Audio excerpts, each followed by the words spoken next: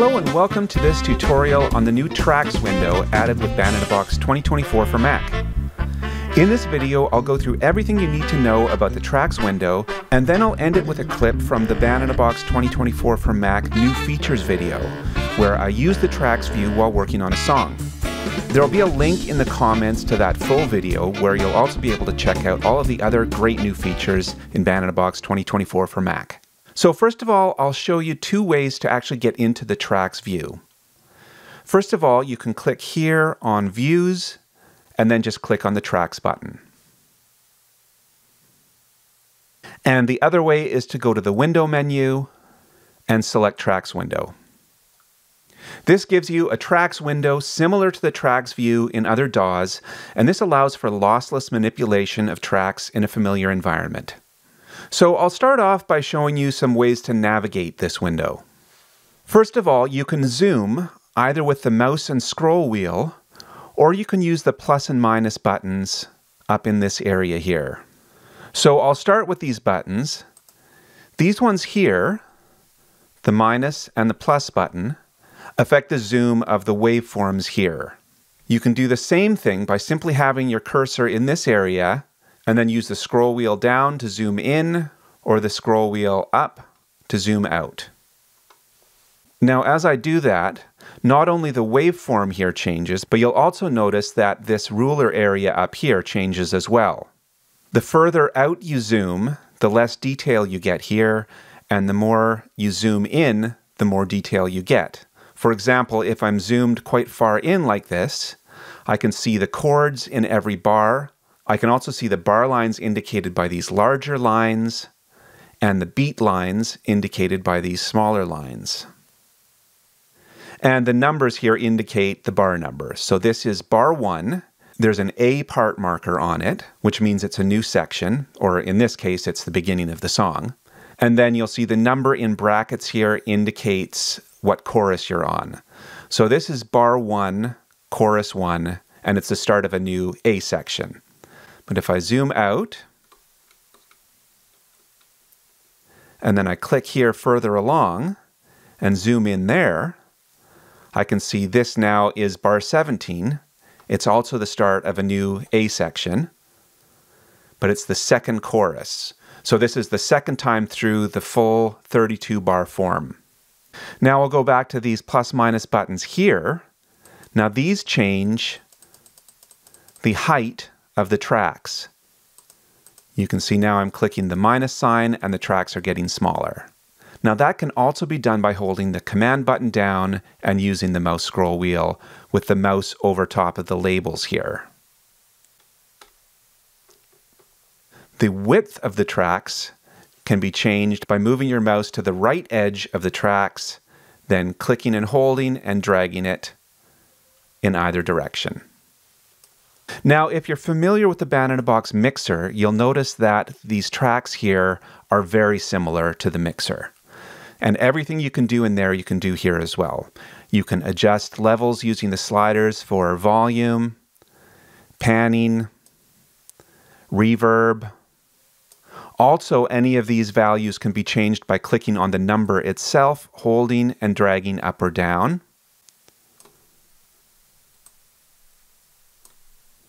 And you can also right click on these and just enter a value on your keyboard. Now this last number here is tone, and there's no fader for that visible, but you can click and hold on the number and then just drag your mouse down to lower it or up to increase it. And same with the others, you can just control click or right click and enter a new value.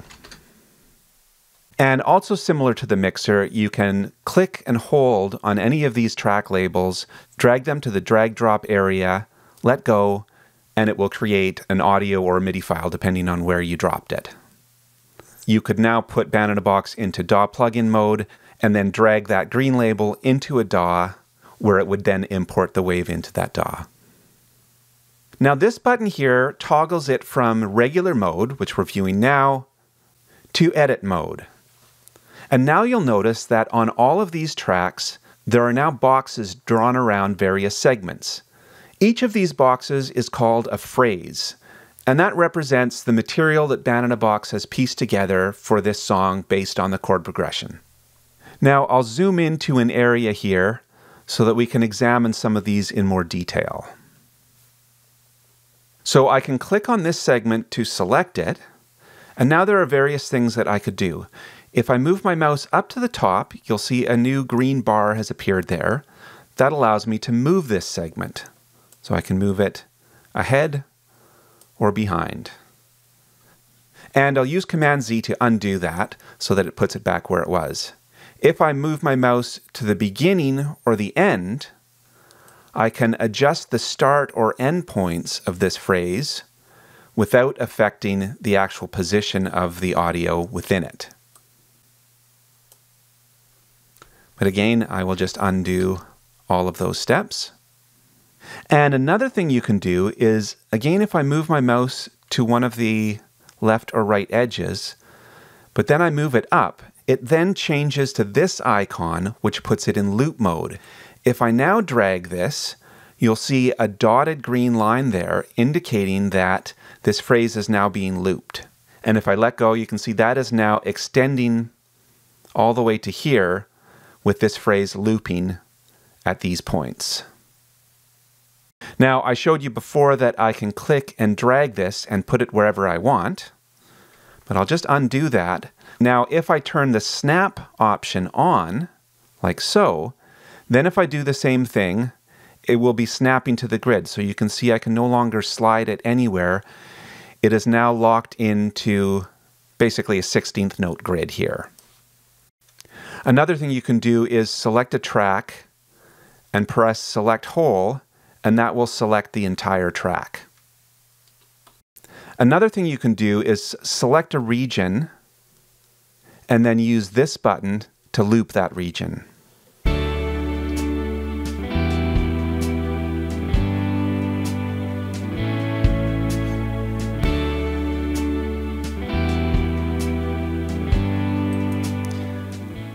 And finally, in this area, if you're zoomed in, like I am here, you can press this button to zoom out to view the entire track.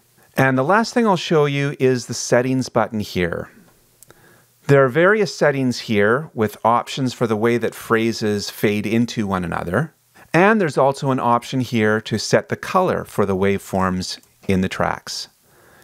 You can now see that those colors are green.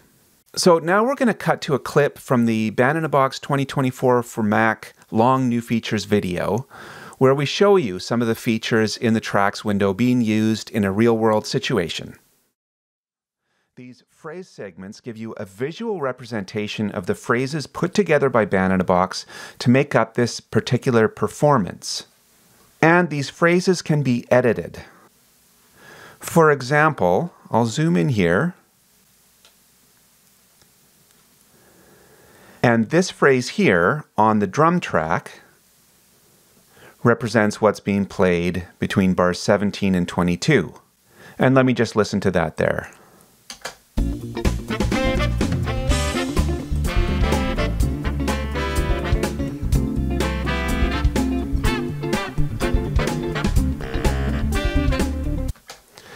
So there was a little drum fill at the end of this phrase, and then it started with a crash to start this new phrase off here. So what I'm going to do is move my mouse to the right side of this, and as I do that, you see the icon changes to this icon with an arrow pointing left and right.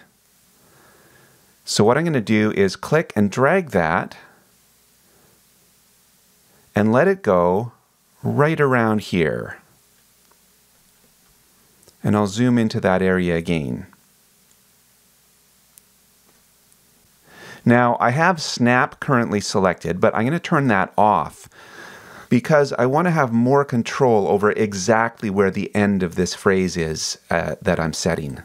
So I'll put it right here just before that new drum hit there. So I'll zoom out again a little bit. And let me start just before there now.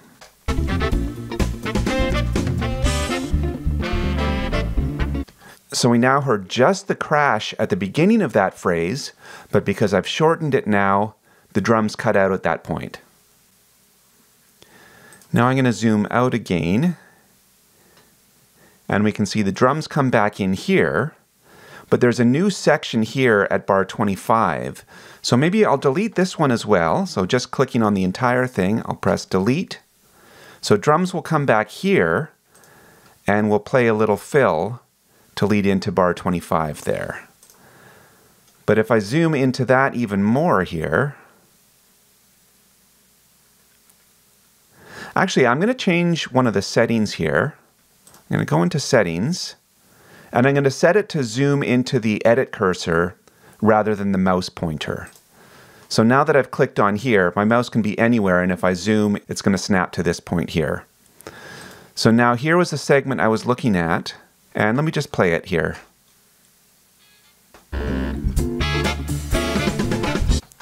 So I'm going to shorten this a little bit so that it starts right here. So it's still going to play the fill, but it's not going to just start playing right at the beginning of the bar line there.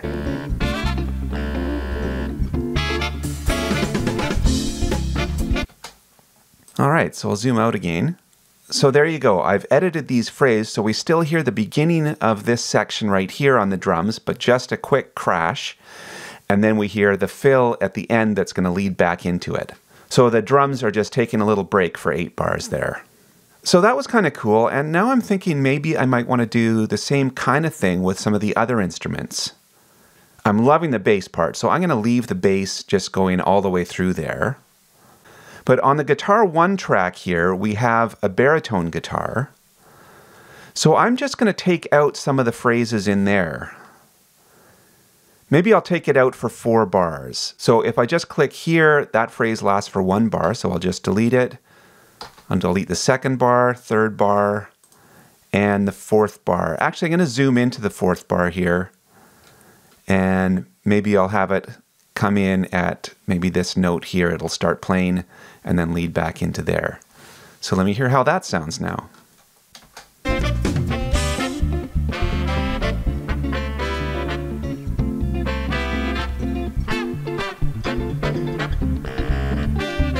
Yeah, that was kind of cool. I think, though, I, I want it to be even more sparse in this part. So I'm just going to take out all of these rhythm guitar parts here. Maybe here I'll zoom in and have it come back, have the rhythm guitar come back at the same time the drums are coming back there.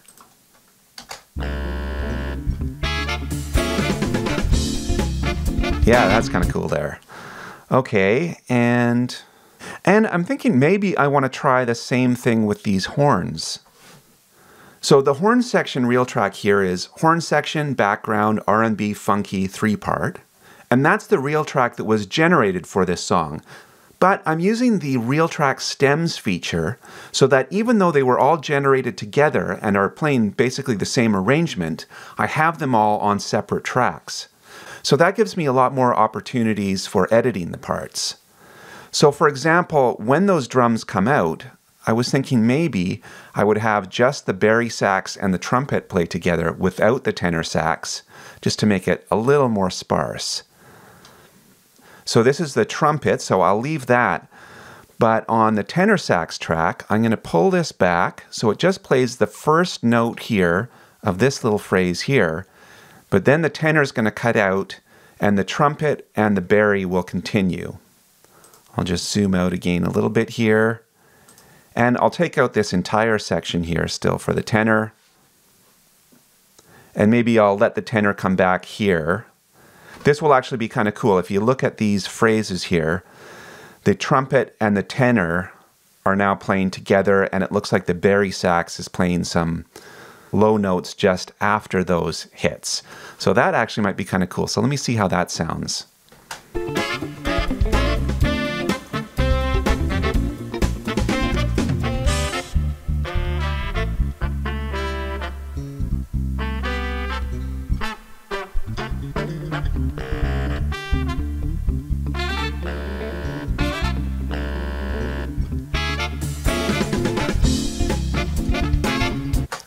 Yeah, that was a neat little section there. So now I want to do something else with the drums for these last eight bars here. I was thinking to give it more of a powerful ending, I would have the drums play a crash every two bars. And the way I was going to do that is to use the looping feature with these phrases. So, first of all, I turned off snap earlier, but I'm going to turn snap back on because with the loops, I want them to loop exactly at the bar lines. So I'm going to zoom in here again and make sure this segment is starting right at the bar line. And then I'm going to bring the end of it and have it end here at exactly bar 35. And once I start looping this, I think I'm going to have it go all the way to the last bar before the ending. So I'll shorten that one. Now I'm going to go back to this phrase again. Now, I showed you earlier that when I move my mouse over the end of this, it has that icon that's a left and a right arrow. But if I move it up to the top of this, you can see the icon changes to this, and this is now the looping icon. So if I click and drag this, you can see now it's put this dotted green line here and here, indicating that that is now the point where this two bar phrase is actually looping. So the crash that occurs here at the beginning of it will now occur here as well and here as well. Let me just zoom out again, and now I'll bring this and continue that loop all the way to here. Now that it's in loop mode, I don't have to have my mouse near the top. I can have it here. Once it's in loop mode, it stays in loop mode like this. So let me hear just that now.